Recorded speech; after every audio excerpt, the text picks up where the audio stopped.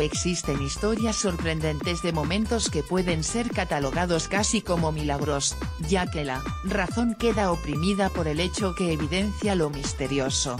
Este es el caso del impresionante suceso que vivió la ahora llamada bebé milagro, la cual sobrevivió a un fatal accidente al sureste de Brasil, el día, jueves 26 de julio, de San retrata como la mamá embarazada falleció a causa de la carga de un camión, tablones de madera, pero la bebé, que no había nacido, logró sobrevivir. El incidente provocó que la bebé fuera arrancada del útero de su madre y cayera sobre la hierba.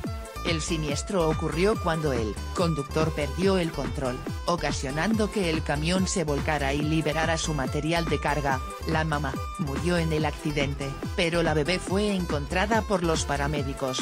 La recién nacida lloraba hasta que, fue hallada en perfecto estado de salud, pues no tenía ni siquiera un rasguño.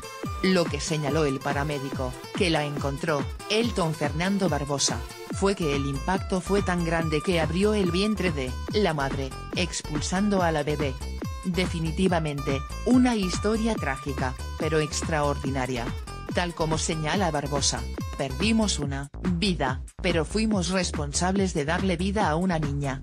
Una enfermera del hospital Pariquera ACU, Solange Batista, señaló que la bebé pesa 2 kilos 948 gramos.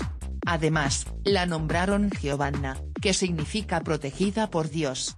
Por si fuera poco, Batista añadió que la bebé es muy tranquila, no llora e incluso sonríe si juegas con ella. Con información de vanguardia. Anímate a comentar. Queremos saber tu opinión. Comentarios Powered by Facebook.